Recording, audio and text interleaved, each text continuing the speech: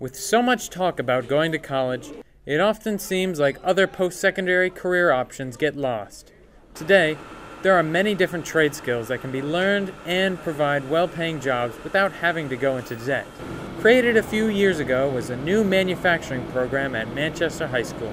So about five or six years ago, um, we didn't really have a formalized manufacturing program. We had a lot of technical education courses that delved into those topics that manufacturers value.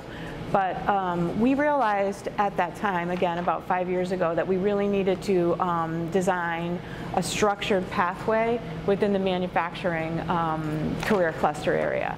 So the reason that we did that is because there's a huge demand for manufacturers in Connecticut. There's thousands of employers and um, it's a field that pays quite well. Last year, Manchester High School was given a grant of $390,000 towards improving the school's manufacturing program.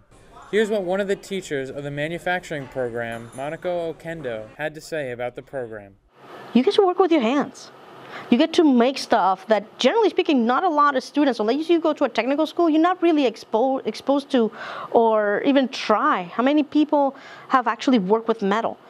Fewer and fewer people have worked with wood working with doing cabinetry and, and, and woodworking, much less with metal.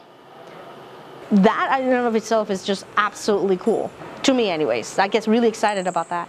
Um, I love working with the lathe, I work, love working with the mill. And one of the things I find is that students, when they get exposed to the lab and they get excited about the lab, they start falling in love with specific machines. Like if they enjoy the lathe, that's the machine that they go to. If they, they enjoy the vertical mill, that's the machine that they go to. Not only do students get the unique experience of working with industry level machinery, but they are also given a path to success out of high school.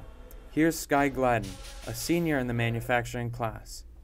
Oh yeah, it's a lot of fun. Um, make a lot of money in the industry right out of high school. You don't need a college degree or really a lot of education. As long as you know what you're doing and getting yourself into, you can really make some good, good money.